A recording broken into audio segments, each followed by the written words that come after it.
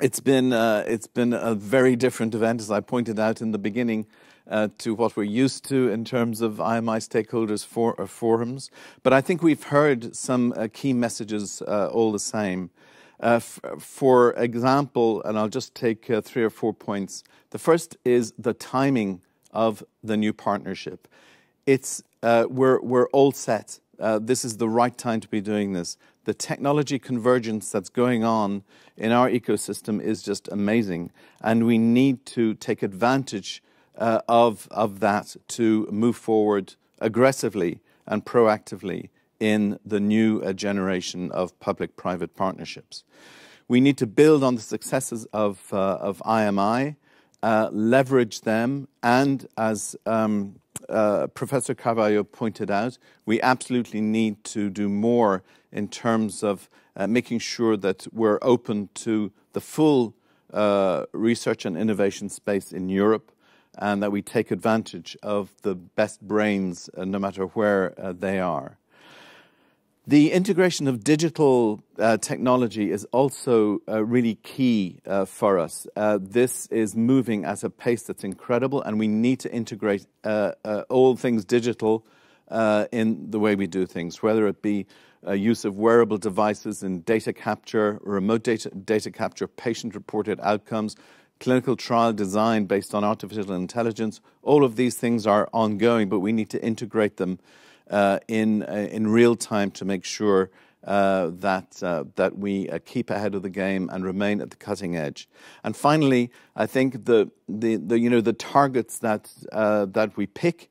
several of our speakers have already said, you know, that that, and I, I, like to hear that they agree with me in terms of, you know, these partnerships. We have to choose those topics that lend themselves for these particular public uh, private uh, partnerships.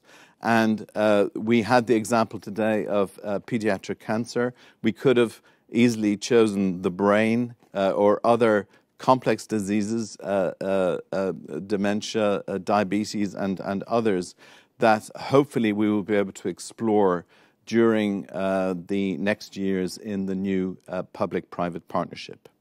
So now it just, uh, I'm uh, very happy that uh, we've uh, got this far. Uh, I'd just like to thank now, first of all, uh, Maxine for her super moderation skills. Thank you for helping us to, to keep on track, to keep on time, and of course, to keep the excellent discussion going. All of our panelists, thank you so much. All of those who have registered and uh, been to the event. You've been very, very uh, numerous in, in, in supporting IMI, in listening to us. there will be, by the way, a, a survey that you will receive. All registrants will receive a survey, and we would love for you to give us feedback on, on today's event. Uh, I'm hoping it's going to be the last stakeholder forum we do like this, but you never know. Uh, and so, uh, but it also uh, will be very useful for uh, for uh, the our other events and and other initiatives that we will be running.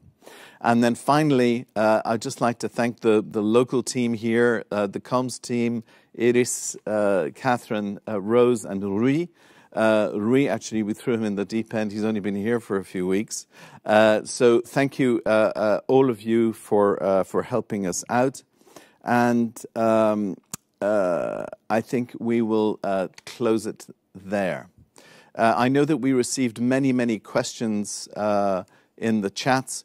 Uh, don't be surprised if you hear some uh, feedback through the IMI website or on Twitter in uh, if we if we pick up on on some of the points that were made that we weren't able to address uh, immediately, and uh, we will uh, go uh, from there. I wish you all very well. Uh, keep safe, keep healthy, and hopefully we will have another stakeholder forum in a different kind of environment. Thank you so much.